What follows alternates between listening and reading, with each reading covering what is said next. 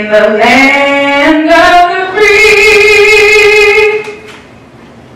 and the home of the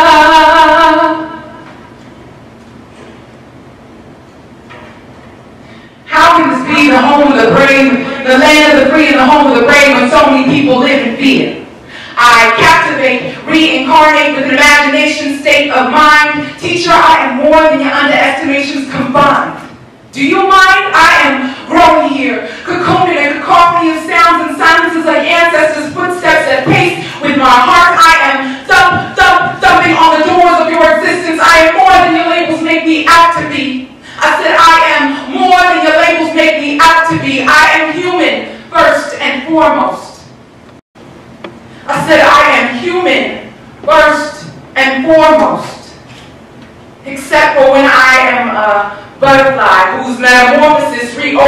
orifices of our connectivity.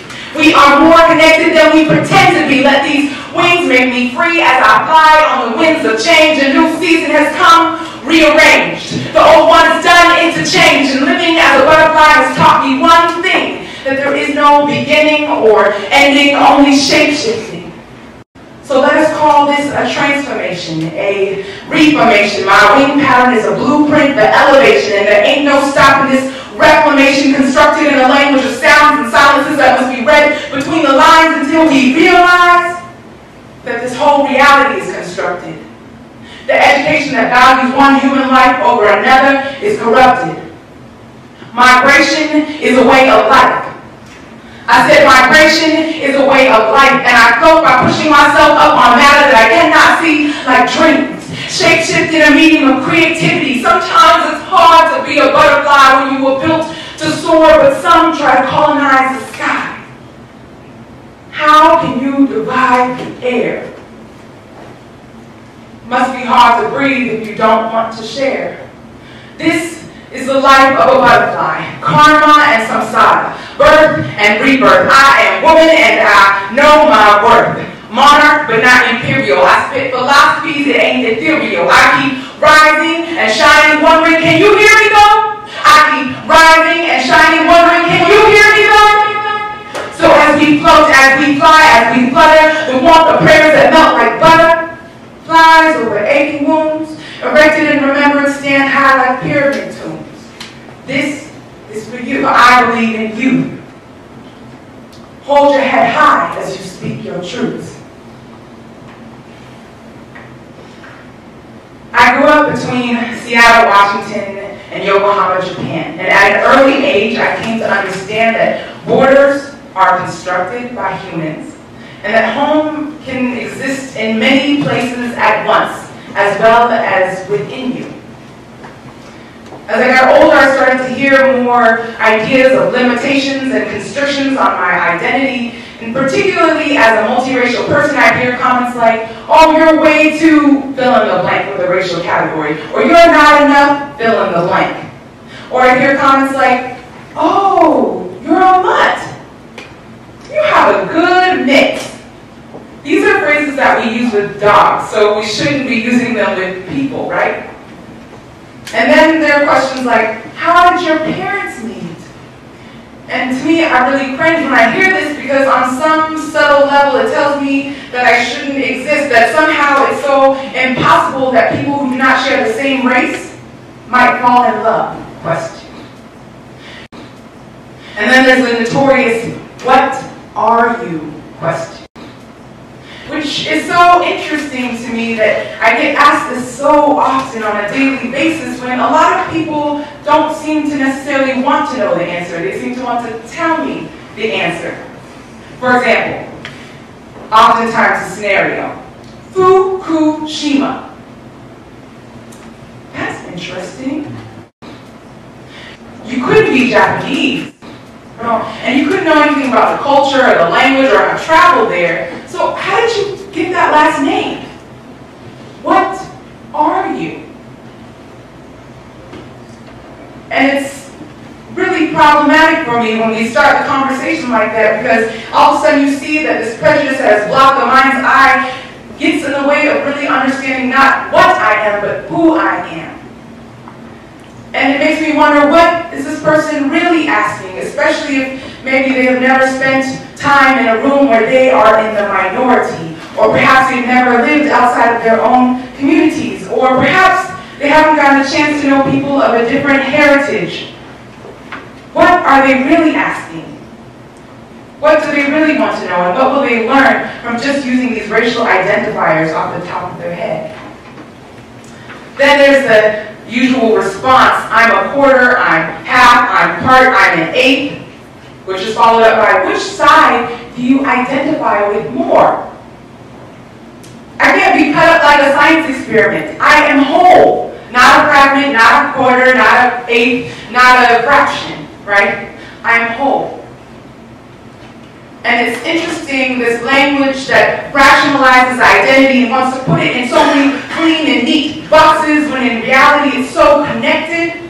Because my multiracial identity in one level and on many levels has taught me the connections and the parallels between many cultures and experiences. It has helped me to see the parallels, for instance, between my experiences living in Dakar, West Africa, Senegal, and my own Japanese heritage. It has taught me to see the connections between my racial ambiguity and perhaps the ambiguity that we see in gender and queer spaces. Audre Lorde once said, the sharing of joy, whether physical, emotional, psychic, or intellectual, forms a bridge between the shares which can be the basis of understanding much of that which is not shared between them and lessens the threat of their difference. To me, one of the ways that I hope to share this joy, to create this space is through art, is through music, is through poetry, storytelling, dance, to see each other's humanity. So the next time I'm asked this, what are you question, I might say I am a freedom fighter. I might say I am on a mission. I might say I am a rap activist or a rap activist. I might say that I'm human. Or I might just say, get to know me to find out.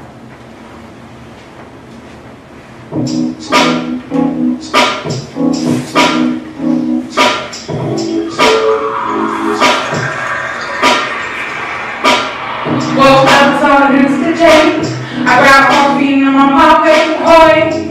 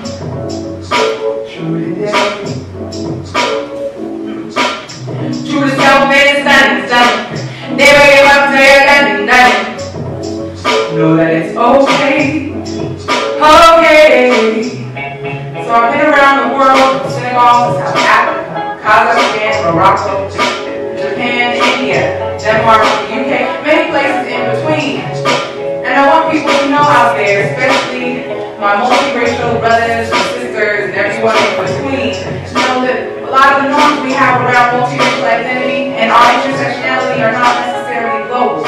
So we need to reimagine and reinvent our work by ourselves in pieces. Sweet sounds, big sweet round. Keep it nomadic, cause I'm so